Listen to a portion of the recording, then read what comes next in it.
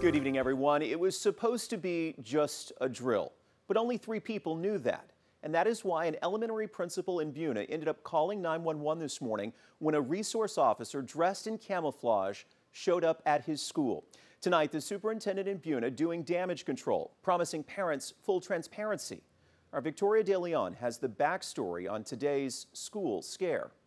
Jasper County 911, what's your emergency? Tuesday morning, a false alarm had Jasper County Sheriff's deputies rushing down Highway 96 to Buna Elementary School. We have a person that's walking around trying to get into the building that we don't know who they are. Okay, I'll get someone in route. According to Buna ISD Superintendent Dr. Donnie Lee, the Chief of Security, Mark McKinley, instructed one of his resource officers to show up at the school unannounced for a safety drill. Yes, we've done these uh, drills before, uh, but with one critical piece included, and that's the communication piece. Dr. Lee says for past drills, multiple people were in the loop, including the Jasper County Sheriff's Office and at least one school administrator. None of those things took place, and so they came flying down the 96. They're not happy about it because, uh, one, you put officers' lives in danger, not to mention just time wasted. The superintendent says teachers and staff did everything they were trained to do in a scary situation like this. They did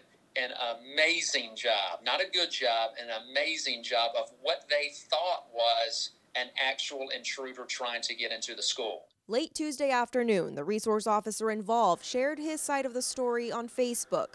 In the post, he says, quote, this was a planned event. I was notified by a school administrator last week that it would be taking place sometime this week. Dr. Lee says there is some truth to the long Facebook post, but didn't go into detail.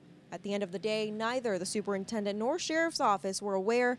While he can't go into detail regarding whether or not disciplinary measures will be taken, Dr. Lee says the matter will be addressed quickly. Uh, we do uh, apologize that there was a breakdown into communication and that undue stress and anxiety were caused to parents, to teachers, and to staff members. In Buna, I'm Victoria De Leon, 12 News.